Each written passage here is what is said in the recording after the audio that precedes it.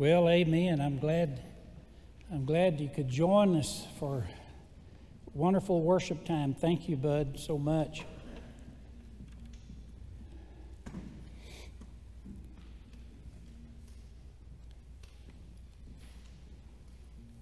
Here's uh,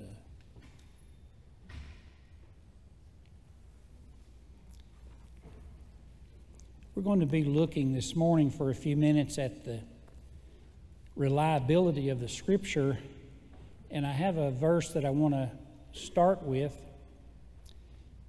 But before I comment on it, I want to tell you about a little experience I had a couple of years ago when I was going to preach on this text. Uh, some of you will know this text, but it's where the Ethiopian eunuch had been to Jerusalem and he was coming back, and Philip, the evangelist, got into his chariot and, was, and shared the gospel with him. And, uh, and this eunuch said, Well, what prevents me from being baptized? And uh, Philip said, If you believe in Jesus Christ with all your heart, you may. And I remembered that. And so it says that they got out of the chariot, uh, they came across a pool of water, and he got out of the chariot and baptized him. So I thought, uh, I forget the sermon I was on, but I do remember thinking that would be a great text. If you believe with all your heart, then you can be baptized. And so I, I knew it was in the book of Acts, so I went over to the book of Acts looking for it, and I. If you have, uh, if you want to look at this with me, it's Acts chapter 8. Uh, let me ask you how many of you have a version of the Bible, a translation of the Bible, other than the King James Version? Would you hold your hand? Let me see how many we got.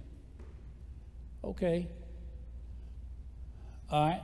So I found the text, and in, it's in Acts 8. I'll start reading in verse 35. Philip opened his mouth and beginning with Scripture, told, the, the, told him the good news about Jesus. And as they were going along, they came to some water, and the eunuch said, Here is water. What pre- prevents me from being baptized? Now that's verse 36. Here's water. What prevents me from being baptized? And I thought, that's it. That's the text I'm looking for. Verse 37 is the answer. And, and I'm looking, and I have no verse 37. Do y'all see that? There's no 37. Does it just go 36, then 38? He's like, What did they do with my text? there goes my sermon. Now, if they do include verse 37, they may have a little asterisk or a note there that says something like, Some manuscripts do not add verse 37. Um, so that was a bit annoying. And then, if, if you want to see another example of this, go to Mark, the Gospel of Mark, chapter 16, and verse 8. And they went out and fled from the tomb.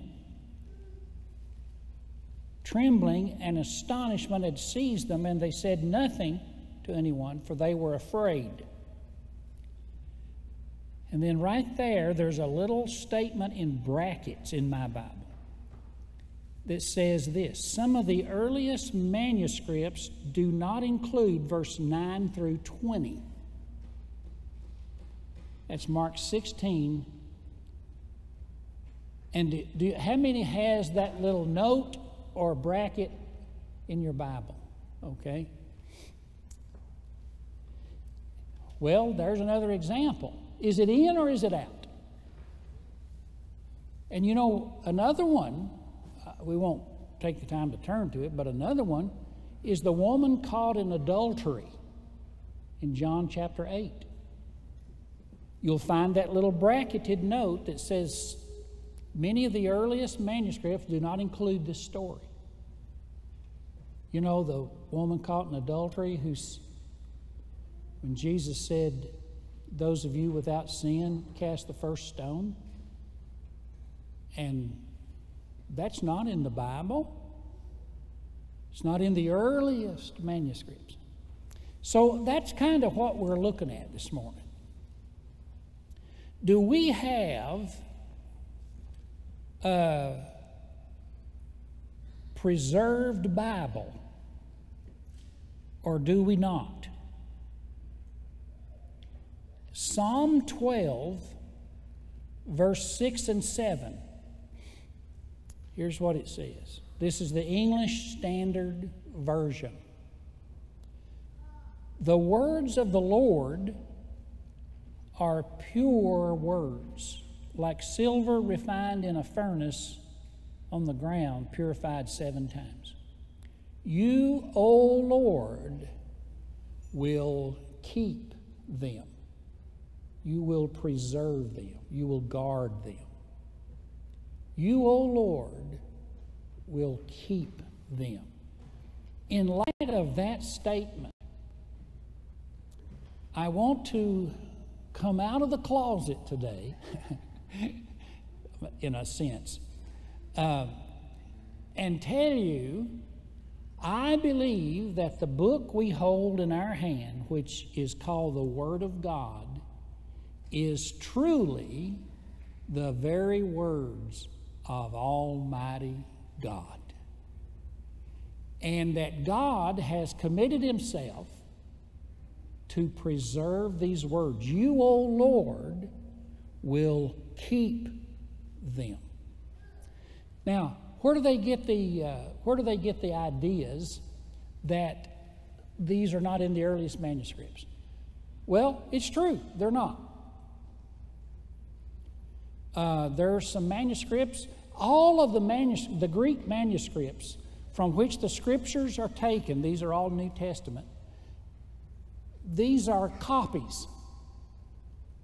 Uh, we do not have the originals, but we don't need the originals. Um, it's one of the ways you know the church accepted the originals is because they were used up. I mean, I used to have, when I was growing up, uh, when I first started preaching, I used to have Bibles, and I would read them every day, and I would preach. I would use them in the pulpit, and I'd beat on them, and they were used up. And I'd replace them with new ones, but it's the same Bible, just different coverings. In the same way, the original manuscripts were read in churches all over the known world. And so it, the ink would fade. They, they would scroll it and it would flake off. But they made copies. And they, uh, how do you know that the copies were precise and without error? Because God said, or David said about his word, I will keep. God said, I will keep those words, I will preserve them and the Holy Spirit led them into all truth. He led those apostles so that, and He led the church so that it preserved the exact words of God.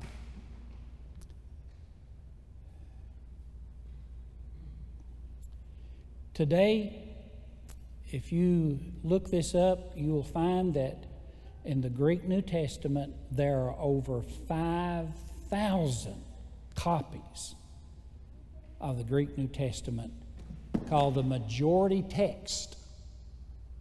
And those copies agree together. Now, there are some earlier ones. Uh, the copies would run about four or five hundred AD. Earlier ones might go back to 100 AD, 200 AD. But because they're earlier doesn't necessarily mean they're the best. It could just mean that they weren't copied, that they weren't used up because they were defective. Let me show you, uh, I think we have this picture of the, the Bill of Rights. Can we put that up there? This is the original Bill of Rights, a couple hundred years old. Uh, and you can see how, especially in the middle part, it's faded. If you go to Washington, D.C., and look this up in the museum, you won't be able to read it. And it's only 200 years old. But we, have, we know exactly what it said, right down to the very words that were used, because there are copies all over the world compared to each other. And uh, so that you can say that what we hold in our hand today is the very Word of God. Now, sometimes you'll hear of some discovery. Um, did y'all do y'all remember some years ago they came out with the discovery that they found the Gospel of Thomas, and uh, uh, that it was why was it neglected? You know, and Jesus married Mary Magdalene, and they have kids over in India, and you have all these crazy notions. Uh, but you cannot have something discovered thousand years later and say God preserved His word intact. No, if it's not in there, it doesn't belong in there. If it wasn't in there from the time of the apostles, it doesn't belong in there. But God has given us a true word. The Gospel of Thomas has teachings in it that the early church said Jesus didn't say that. That's not from the apostles. Thomas didn't write that. And I give you an example. One of the things in the Gospel of Thomas is that women can't go to heaven. Here's what uh, Peter said according to the Gospel of Thomas. Simon Peter said, Mary Magdalene should leave us because females are not worthy of life. And Jesus said, I will guide her so that she will become a man. And then she too will be a living spirit resembling you men, for every female who becomes a male will, will be able to enter the kingdom of heaven. So the early church heard that and said, That's stupid. And Thomas didn't write. See, that's a forgery. They know they knew that wasn't the word of God. That's not whosoever will may come, except for the women. They cannot come. They knew that was wrong. So, in some of your versions, you will see those little notes. And so I would say ignore them. Now, I use the English Standard Version because it translates it word for word. Some of the versions translate it thought for thought. They try to capture the thought of the Greek text. The English Standard Version tries to capture the very wording, the very vocabulary, the tenses of the Greek text. So that's why I use the English Standard. But it, the, even the English Standard still has those little notations that this is, may not be part of the original text. But I just ignore it and go on. And that's what I would suggest to you. Not that you stop using all other versions except the King James Version. But I would just say, okay, if you have that note, then the note is wrong. I'll just stay with what's what we have here. And most of the versions will go ahead and include te- that passage um, uh, anyway. And so just ignore those notes and you'll be fine. The Bible, as we have it, is called the Textus Receptus. That's Latin for the received text. All these other texts are rejected texts by the early church. They didn't accept them. So, but what we have is the textus receptus, the received and accepted text of the New Testament. Um, so when the gospel, somebody says the Gospel of Thomas belongs as a fifth gospel, we say it was not received by the early church. Now, let me add this. To my Roman Catholic friends, there are several books in the Roman Catholic Bible called the Apocrypha. These were written between Malachi, the old end of the Old Testament, and before Matthew, beginning of the New Testament. So they're squeezed right in there. And the Roman Catholic Church puts in their Bible these, I don't know, six or eight books uh, First and Second Maccabees, Book of Jubilees, uh, probably books most of you have never read or heard of. It, it doesn't matter. They put them in. Now, a couple of things on that in the Roman Catholic Bible. Number one, those were not accepted in the Bible until after 1600 AD. So they're very late in the history of the church. Number two, they, none of those books are quoted or referred to in the New Testament. Most of the books of the Old Testament are quoted or referred to in the New Testament.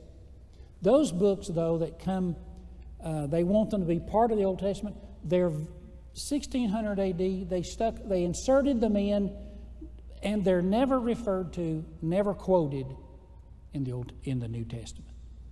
Therefore, we do not hold them to be part of the Bible.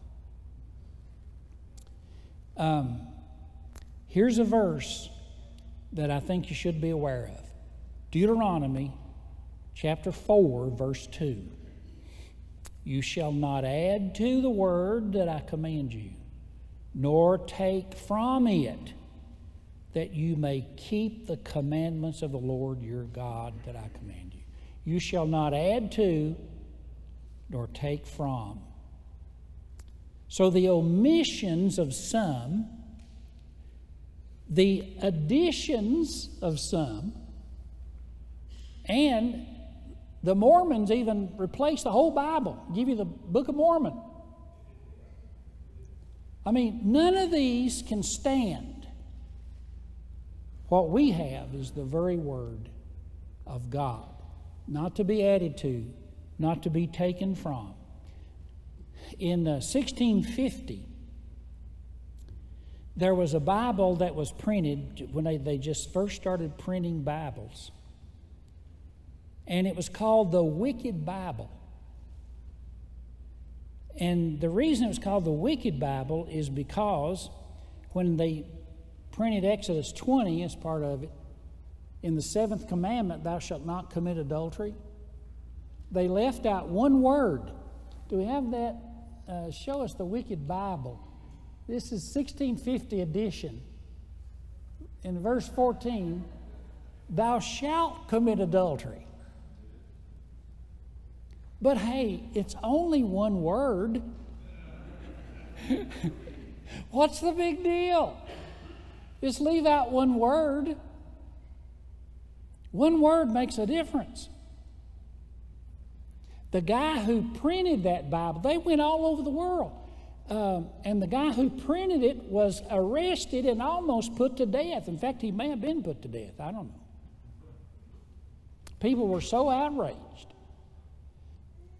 The other, the other Sunday, we were welcoming Junior and his wife, Therese, me and uh, Brandon, and uh, we, we said, we were encouraging uh, Junior to sing because he sings good. J- Junior, I don't want to embarrass you here.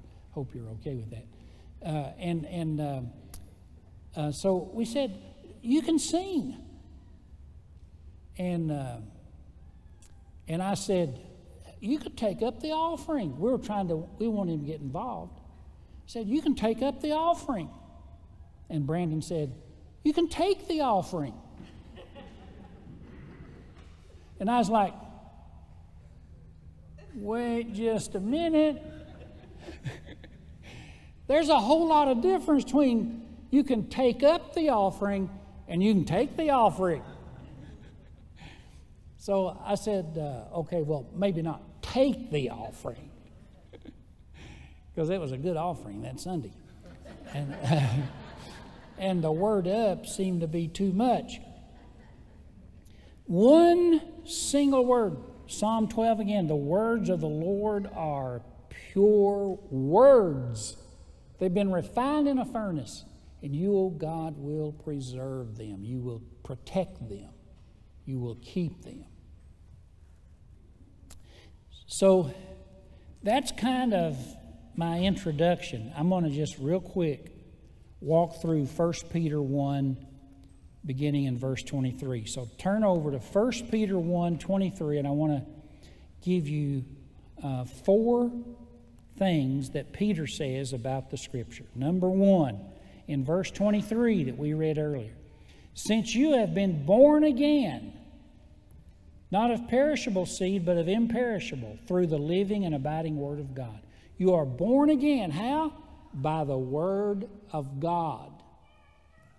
Again, I refer to my Roman Catholic friends because I read them all the time. They're my favorite authors. They've pondered these things for centuries. And I love them. I love these guys. And I have Roman Catholic priests who are friends. They have seven sacraments. And in their catechism, it plainly says, These give life to you. Uh, do we have the seven sacraments? But yeah, put those up there. These give life. And I noticed not one of them is preaching the Word of God. And I'm like, why is preaching not central? Now, in the Protestant church, it is central. We don't have the pulpit on the side, we have it in the middle because it's central.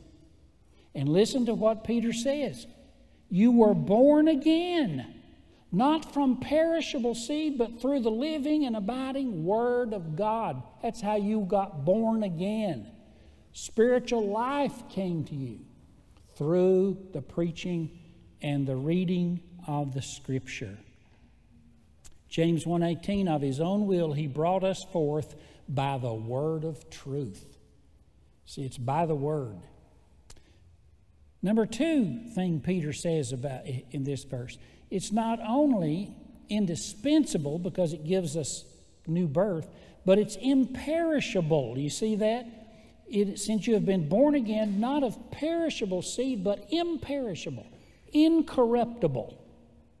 You can't have a Bible that ages, changes, decays, or grows old, grows weak, with books lost, books added.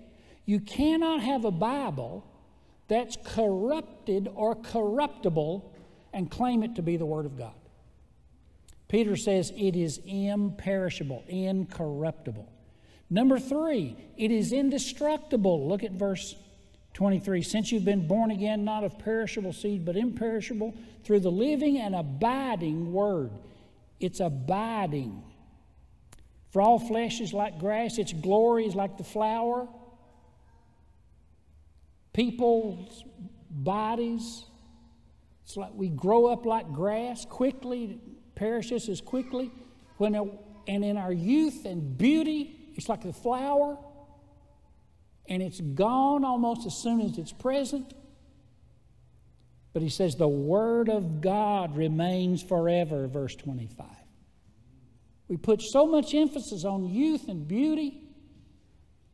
We spend hundreds of dollars on cosmetics. Men, we spend hundreds of dollars on our cars. Women want to look good, men want their cars to look good. And it's all, it all perishes. But the Word of God abides forever. Aren't you glad there's something you can leave your children that will be here even after they're gone? Is the Word of God. So he says it is indestructible. A man was challenged to build a wall that no one could ever knock over. And he said, I think I can do it. He built a five foot high wall that was six feet wide. And when they knocked it over, it just made it higher and stronger. He made it because he built it five foot high and six feet wide. Turn it over, now it's six feet high. That's the way the Bible is. When you attack it, it just makes it emerge stronger than ever before. Someone said the Bible has to be from God because it has survived the neglect of the church, the failures of the preachers, the critiques of the scholars, the persecutions of the government, and the errors of its translators. It has survived it all, and we still have it. So, a sum, the summary here. Peter says it's the indispensable word because we're born again by it. It's the imperishable word because it's incapable of decay. And it's the indestructible word because it abides forever. And one final thing it's the incomparable word. Look at verse 25. The word of the Lord remains forever, and this is the word by which the gospel is preached to you. The gospel. How we get saved, how we get forgiven, how we go to heaven. Jesus died for us, Jesus rose again, and Jesus is coming back for us. The gospel.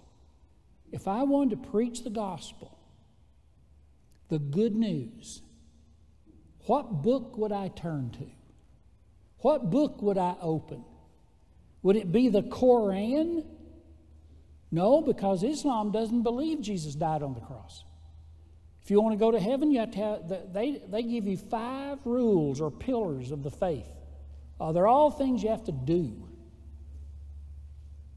Is it the uh, Hindu book, the Hare Krishnas? Is what, what book do I open? I open the Bible because therein is the gospel. It's the word of God by which the gospel is preached to you. What makes this book so valuable? The gospel is in it. Wow, it's incomparable. And that's what I love about the Bible. It is the word by which you were evangelized. So, this morning, the big issue with the Bible is not whether it's reliable, but whether it's read. Not does it have power, but is it preached? So I'm thankful today that we have this Bible, and I hope you'll join me in reading it and hearing it preached. Let's pray together. Ushers, you come. Let's worship God with our offerings. We're going to take up the offering now. Amen. He has preserved His words. Let's pray together. Heavenly Father, thank you today for your holy word, your precious word, that you have preserved it through the ages. And what we hold in our hands is what the early church held in their hands centuries ago and you have promised to preserve its words. We thank you for it. In Jesus' name.